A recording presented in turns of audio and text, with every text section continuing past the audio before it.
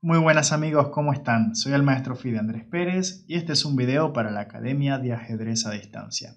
Hoy les voy a estar mostrando uno de mis grandes amores de todo el ajedrez y es el Gambito de Rey, que aunque no lo crean, aunque muchos lo tienen de una apertura dudosa, pues ha sido de las principales aperturas que he empleado a lo largo de mi vida y de las que más alegría me ha dado realmente. Por supuesto, no se puede hoy en día quizás el ajedrez competitivo tener como apertura principal, ya que con el empleo de módulos ¿no? por parte de, la preparación ¿no? para los jugadores, pues ha hecho eh, que, aperturas, digamos, de este estilo, pues no se puedan jugar todo el tiempo. Sin embargo, como les digo, es de las que más mejores resultados me ha traído y la verdad que partidas más lindas he podido realizar. Bueno, sin más, vamos con esta primera partida. Les quiero mostrar dos partidas muy cortitas, pero creo que bastantes buenos ejemplos de lo que es esta apertura, de sobre todo las ideas principales.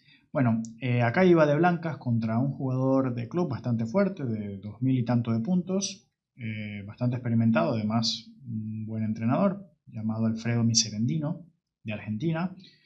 Eh, y bueno, me jugó esta variante e por F, ¿no? Es decir, gambito de rey aceptado. Y después de la jugada caballo F3, acá hay muchas. Alfil E7 es la que emplea mi rival. Pero bueno, existe D5, eh, existe G5, una de las principales, ¿no? Tratando ahí de defender el peón de F4. Pero alfil E7 tiene su idea. Su idea es básicamente eh, pegar un jaque, o al menos la idea inicial, amenazar con dar un jaque que descolocaría al rey de las blancas y ya quitaría el enroque.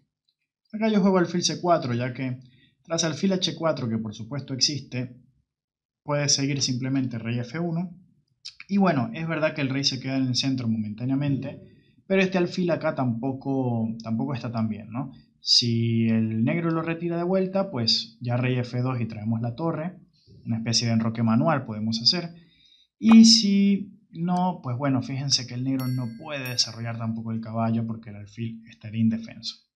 Entonces mi rival no optó por esa opción, no dio el jaque, sino que jugó caballo f6, presionando el peón de e4. ¿no?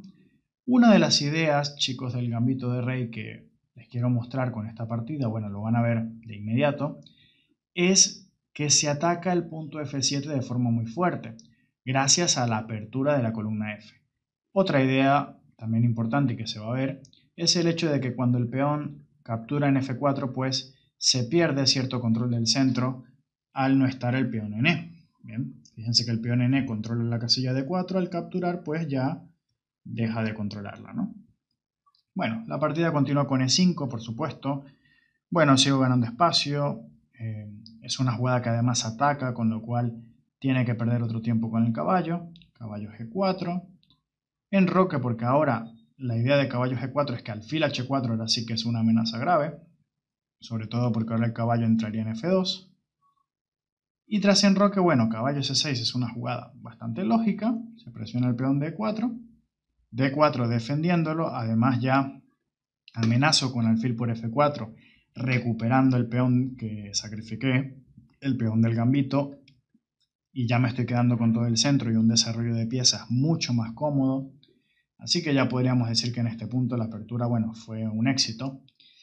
Pero es que acá es donde mi rival comete un error gravísimo y fíjense que es un jugador bastante fuerte, así que los errores acá del negro por, mm, digamos, por pecar de materialista son bastante comunes en el ámbito de rey.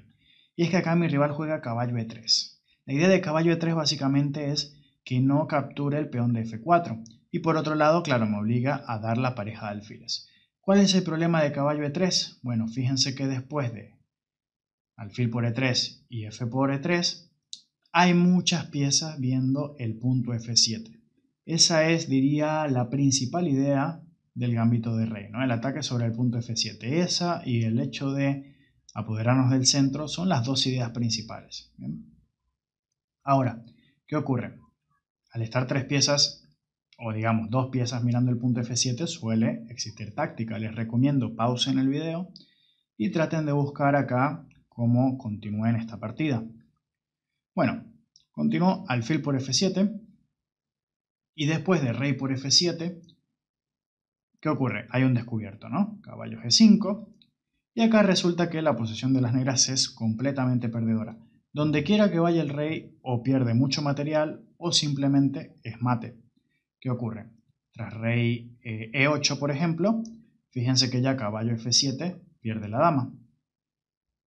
Tras rey G8 hay una continuación muy bonita, dama F3, y fíjense cómo estamos entrando en D5 o en F7 con mate. El mate es imparable ahora. Si dama E8, por ejemplo, evitando que entremos en F7, pues dama D5. Y después de dama F7, pues ya sería mate, ¿no? Entonces no se pueden hacer ni rey E8 ni rey G8. ¿Qué otra opción se puede hacer? Pues bueno, la única que queda es rey G6. ¿Cuál es el detalle? Ahora viene caballo F7. Y no es tanto el ataque doble, sino que ahora dama G sería mate, dama G4. Es decir, si por ejemplo dama E8, dama G4 y como bien ven ahí el caballo está evitando que el rey escape por, F, por H6, entonces tras alfil G5, dama por G5 mata. Con lo cual después de caballo F7 mi rival tuvo que jugar D5 para evitar la entrada de la dama, dama D3 y después de caballo por D8 la partida acabó en pocas jugadas. ¿no? Por supuesto acá ya sin dama, con el rey tan expuesto, está completamente perdida la posición. Quería mostrarles otra partida también bastante corta, contra un jugador bastante, bastante fuerte.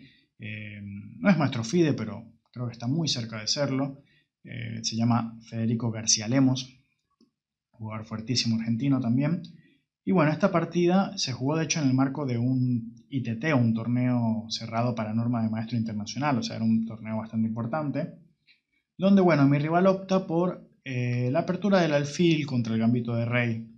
Eh, o gambito de rey declinado, ¿no? Variante del alfil, ¿no? La podríamos llamar. La idea es, claro, yo no puedo capturar porque está este típico truquito, ¿no? De hecho, algo importante también en el gambito de rey es que casi siempre la tercera jugada va a ser caballo F3.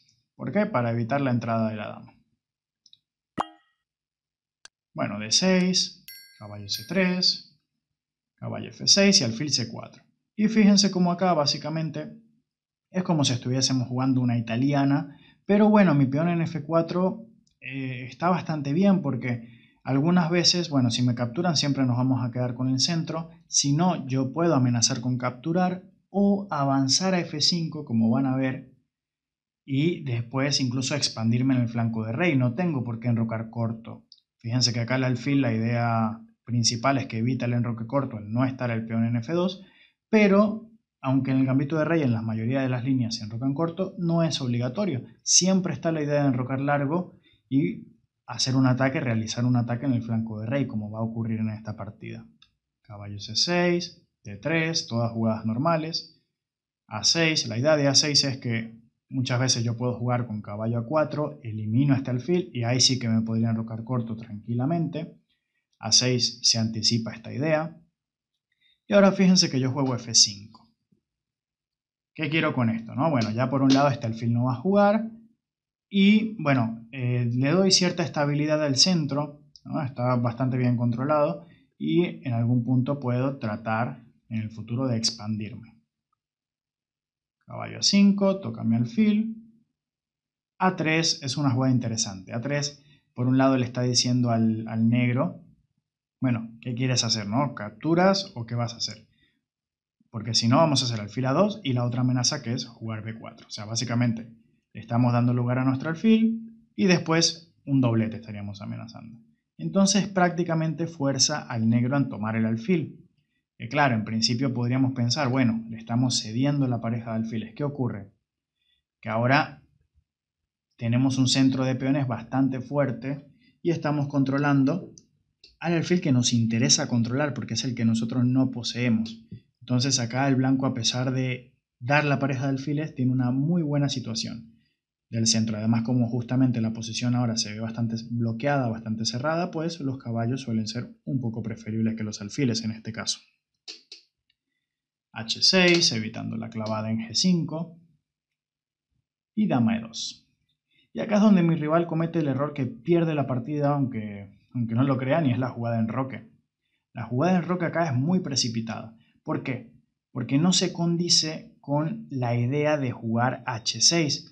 Fíjense que H6, si bien la idea era evitar alfil G5, pero está creando un punto de ruptura en G5 y siempre que hay un punto de ruptura, esto le permite al rival, en este caso me permite a mí, llegar con mucha más fuerza eh, sobre el flanco de rey. Entonces no tiene sentido la jugada en roque corto, ¿no? Mi rival debió haber jugado quizás dame 7, alfil de 7 y en roque largo, o mantener un rato el rey en el centro, incluso era posible también. Pero ya con enroque corto acá surge esta idea, que es la que les quiero mostrar, muy interesante, G4. Mi idea es, bueno, si no me captura voy a hacer G5 y de cualquier forma voy a abrir la columna G. Me captura, por supuesto, torre G1 no es posible, pero sí dama G2. Fíjense cómo ya, ahora si retira el caballo a F6, pues alfil por H6, ¿no? Ya la posición negra está perdida. Tiene que jugar caballo E3 y después de esto, caballo D5 hecho el alfil. Si el alfil iba a G5 queriendo evitar el enroque, simplemente tengo H4, ¿no? Por ejemplo. Entonces, alfil a 7. Y ahora ya la posición está completamente perdida. F6, G6, y H4. La idea es H5 y ante G5 incluso caballo por G5 y va a ser mate. Fíjense que el negro tiene la pareja de alfiles, pero no le sirve para nada. La posición está bloqueada y sus piezas de hecho no van a poder eh, alcanzar a defender al rey. Dama de 7, dama de 2, entrando por las casillas negras. Dama G4, bueno acá si intenta rey H7 es que falla por caballo G5. Por supuesto si se captura hay mate por la columna H. Y si quita el rey, pues ya hay varias jugadas, ¿no? Em, simplemente caballo E7, por ejemplo, ¿no? Y después caballo por F7 y dama por, por ejemplo. Pero bueno, la partida continúa entonces con dama G4, tocando el caballo de, de F3, pero simplemente caballo E7, rey y caballo G5, muy bonita. Como ven, la idea de nuevo, abrir la columna H y es mate, ¿no? Si otra vez rey H8, caballo por F7, esto es mate. Es por esto que el negro captura y bueno, ya esta posición está completamente perdida. G6, por supuesto, el negro abandona. He pasado un poco rápido a la parte táctica, que creo que es quizás la más visualmente la más linda pero lo que quería era mostrarles las ideas de la apertura, ¿no? Por un lado, en la primera partida, el toque en el punto F7, que es clave en muchas líneas del gambito de rey, y en esta, bueno, mostrarles cómo no siempre la idea va a ser enrocar corto, a pesar de que lo parezca, ¿no? Sino que muchas veces incluso con el peón en F4 podemos jugar algún F5, G4, expandirnos por el flanco de rey y enrocar largo, que bueno, en este caso directamente no fue necesario. No olviden, como siempre, que para seguir aprendiendo mucho más pueden entrar y ver la masterclass, la masterclass del gran maestro Igor Smirnov y nosotros nos veremos, por supuesto, en una próxima.